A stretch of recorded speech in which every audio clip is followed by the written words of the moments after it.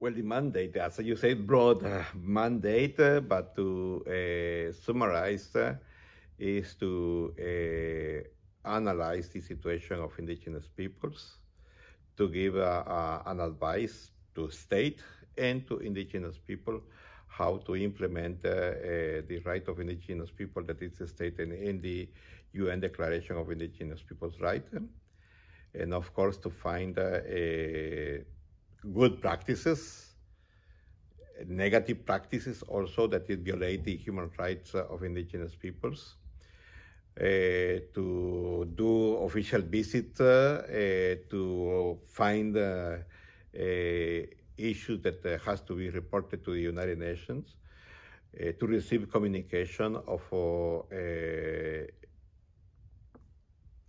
abuses of human rights of indigenous peoples, and uh, when we received those uh, uh, denounces, the special rapporteur, also one of the measures that, or one of the actions that the special rapporteur had to in the mandate is to communicate to the state of the alleged human rights violations and to suggest some measures to, to respect human rights of indigenous peoples. Also to suggest and to advise them in a new, uh, uh, we can say, laws or, or measures, legal measures to protect indigenous people's rights. Uh, there are also to intermediate between indigenous people and uh, states uh, to resolve uh, conflicts if when when there are conflicts between indigenous people and governments and uh, now ha we have been, uh, they, or not we, the state has been broadened more the mandate of, of, of, the special procedures. And we are now capable to send also a communication to private sectors, which are affecting indigenous people's rights. And I think that that is something that is very important uh, to to do two specific uh, studies a year, uh, thematic studies uh, that has to be submitted, one to the Human Rights Council and the other one to the General Assembly. And there are specific thematic reports that the special rapporteur has to see what uh, is going, uh, what issue is going to, uh, is important to have more information on for uh, the better protection of indigenous people's rights, but also to analyze the general situation of indigenous peoples. And of course, uh, when uh, indigenous people are uh, denouncing possible human rights violation in a new law that they have been discussing uh, in the country, the special rapporteur also can uh, send a communication to the state, uh, offering them suggestions of change, uh, changing the languages of in, me, in measures to the law, but also if there is a, a very difficult law, also sometimes the special rapporteur has been asking to not to uh, adopt that law. But if it's a law that is uh, that is possible to change and to adapt to, to protect indigenous people's rights, uh, it's also something that uh, the special rapporteur is uh, advising, to, or the mandate is advising to do it. and um, there are many other issues in the mandate that can be possible to do by the special rapporteur.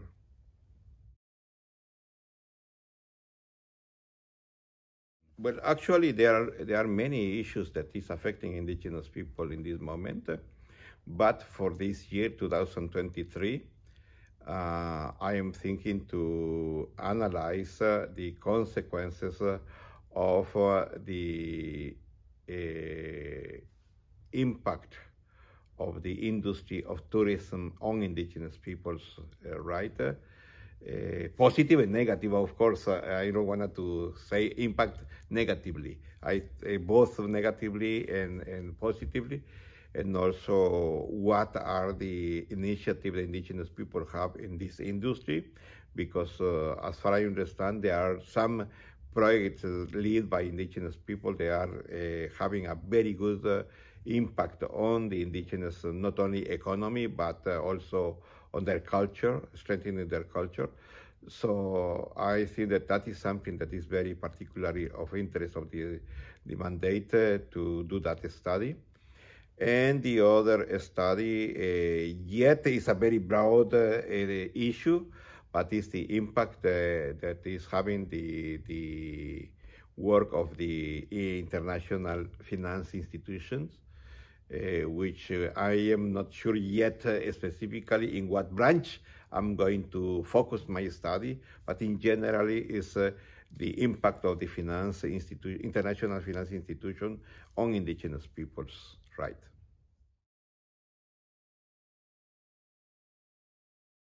The challenge that I have is that uh, is that uh, uh, United Nations is only authorizing the special mand mandates uh, only to visit a year.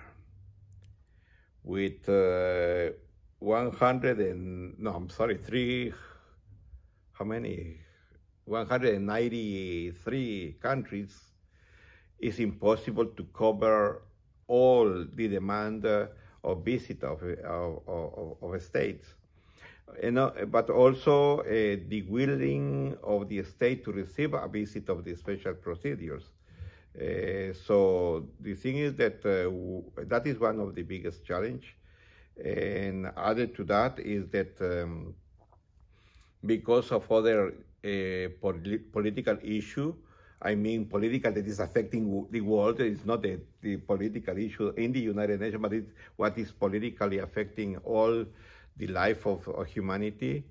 Uh, special procedure doesn't have enough uh, support uh, because there are not enough um, economical resources to have or to strengthen in the support that we need in, in, in our work in, in Geneva.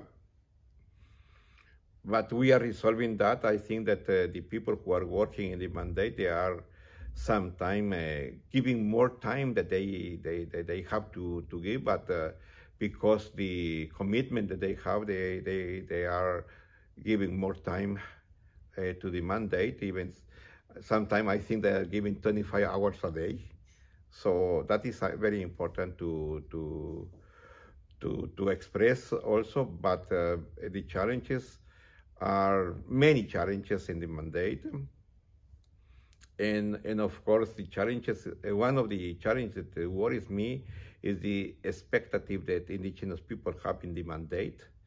Some, sometimes indigenous people believe that the mandate is going to resolve their problems. Uh, but what uh, the mandate uh, is uh, mandated is only to to uh, make recommendations to the state. And and that is uh, sometimes uh, is not enough to resolve the problems that indigenous people are having in this moment. And unfortunately the problems with indigenous people uh, to the indigenous people are increasing in this moment especially with the industry of or the extractive industries that is is something that is affecting uh, all the humanity in this moment. and and uh, of course, the accumulation of wealth of many states are doing is something that is is is is uh, we cannot understand how they are putting uh, not only preference but uh, is putting um, the wealthy uh, first instant to protect their own people. So that is something that uh, sometimes is very hard to believe. And of course, uh, the challenge, not only for the mandate, but for indigenous people is the climate change. Adaptation and mitigation of climate change in this moment is very hard, especially when we are seeing how uh, some state uh, they are uh, taking over the land of indigenous peoples. And of course, all what we are seeing is the when they are creating the new protected areas and the creating also the, the so-called human humanity heritage protected area, I think that is called, from UNESCO. They are not consulting with indigenous peoples. And that is something that is worries because uh, they are still using uh, a definition of protected areas that was created 250 years ago. Okay, so I think that uh, those are the issues specifically when uh, they believe that uh, no human being has to live in the protected areas. When uh, uh, you analyze that situation, you see that uh, that specific indigenous peoples has been the ones who have able to maintain that uh, that area in the way that they are finding. That's why they wanted to protect. Uh, but uh, sometimes uh, it's difficult to understand those issues, specifically when you see that uh, sometimes uh, Eh, those areas have been given in concession to a private eh, eh, company to prof- to make profit with that, but they are not taking in account indigenous people. They are sometimes that those are the challenges that uh, I have, not because I have to the power to change that. It's the challenge to to not only to understand but also to to to stand on uh, or beside indigenous people, to protect their rights when there is taking place this kind of injustice to them.